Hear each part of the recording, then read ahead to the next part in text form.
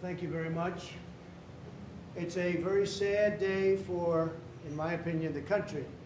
A New York State judge just ruled, and he's crooked as you could get.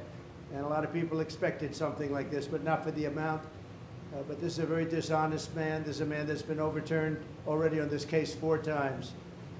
But a crooked New York State judge just ruled that I have to pay a fine of $355 million for having built a perfect company.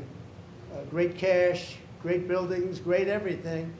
It affects New York. It's mostly talking about New York, where we have a totally corrupt attorney general. She campaigned on the fact that I will get Trump, I will get Trump. Everybody's seen it. Letitia James, they've all seen it.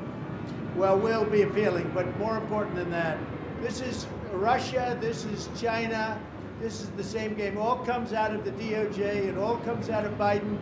It's a witch hunt against his political opponent, the likes of which our country has never seen before. You see it in third world countries, banana republics, but you don't see it here. So I just want to say this. You build a great company. There was no fraud. The banks all got their money, 100%. They love Trump. They testified that Trump is great, great customer, one of our best customers. They testified beautifully. And the judge knows that. He's just a corrupt person.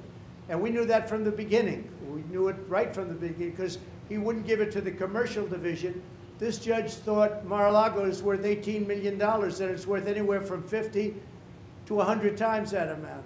So we realized that. He ruled against me before he even got the case. He ruled against me. Said I was guilty. He didn't know what I was guilty of before he even got the case. And Letitia James, that's another case altogether. She's a horribly corrupt attorney general, and it's all having to do with election interference.